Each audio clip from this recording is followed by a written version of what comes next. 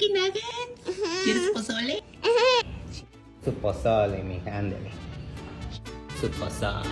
Una pequeña estadounidense se ha viralizado en redes sociales, al mostrar su fascinación por la comida mexicana y lo feliz que se pone cuando sus padres le sirven platillos típicos mexicanos. En un último video se puede apreciar a la niña negándose a comer nuggets de pollo y prefirió un buen plato de pozole, que la hizo bailar de felicidad. El video también muestra diferentes momentos en los que le sirven una quesadilla y una tostada de tinga, generando una gran emoción en la rubiecita ante la deliciosa comida mexicana. Aunque se desconoce si las raíces de la pequeña son mexicanas, porque los adultos con quienes interactúa, se escucha que hablan español.